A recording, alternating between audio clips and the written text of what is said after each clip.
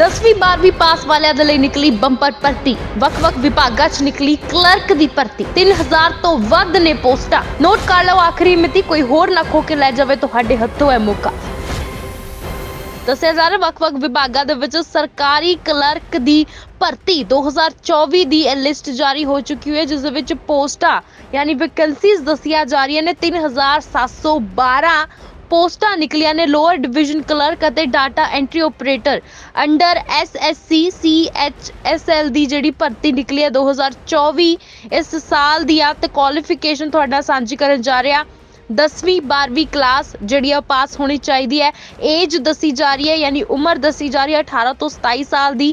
OBC ਦੇ ਲਈ 30 ਸਾਲ SC ਦੇ ਲਈ 32 ਸਾਲ। ਫੀਸ ਦੱਸੀ ਜਾ ਰਹੀ ਹੈ ਜਨਰਲ OBC ਤੇ ਅਦਰਸ ਦੇ ਲਈ 100 ਰੁਪਏ।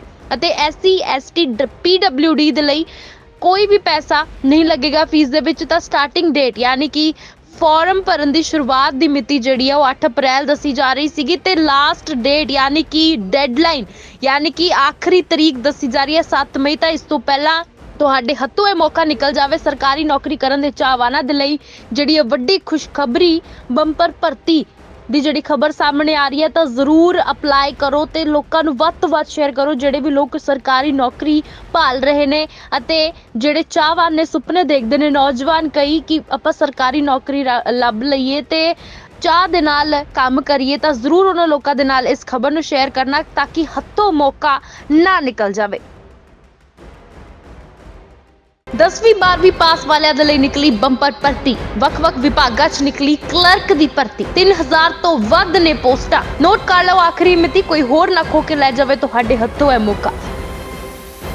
ਦੱਸਿਆ ਜਾ ਰਿਹਾ, ਵੱਖ-ਵੱਖ ਵਿਭਾਗਾਂ ਦੇ ਵਿੱਚ ਸਰਕਾਰੀ ਕਲਰਕ ਦੀ ਭਰਤੀ। 2024 ਦੀ ਇਹ ਲਿਸਟ ਜਾਰੀ ਹੋ ਚੁੱਕੀ ਹੈ, ਜਿਸ ਦੇ ਵਿੱਚ ਪੋਸਟਾਂ, ਯਾਨੀ ਵੈਕੈਂਸੀਜ਼ ਦੱਸੀਆਂ ਜਾ ਰਹੀਆਂ ਨੇ 3712 ਪੋਸਟਾਂ ਨਿਕਲੀਆਂ ਨੇ ਲੋਅਰ ਡਿਵੀਜ਼ਨ ਕਲਰਕ ਅਤੇ data entry operator under SSC CHSL ਦੀ ਜਿਹੜੀ ਭਰਤੀ ਨਿਕਲੀ ਹੈ 2024 ਇਸ ਸਾਲ ਦੀ ਆ ਤੇ ਕੁਆਲੀਫਿਕੇਸ਼ਨ ਤੁਹਾਡਾ ਸਾਂਝੀ ਕਰਨ ਜਾ ਰਿਹਾ। 10ਵੀਂ 12ਵੀਂ ਕਲਾਸ ਜਿਹੜੀ ਆ ਪਾਸ ਹੋਣੀ ਚਾਹੀਦੀ ਹੈ। ਏਜ ਦੱਸੀ ਜਾ ਰਹੀ ਹੈ, ਯਾਨੀ ਉਮਰ ਦੱਸੀ ਜਾ ਰਹੀ ਹੈ 18 ਤੋਂ 27 ਸਾਲ ਦੀ। OBC ਦੇ ਲਈ 30 ਸਾਲ SC ਦੇ ਲਈ 32 ਸਾਲ। ਫੀਸ ਦੱਸੀ ਜਾ ਰਹੀ ਹੈ ਜਨਰਲ OBC ਤੇ ਅਦਰਸ ਦੇ ਲਈ 100 ਰੁਪਏ।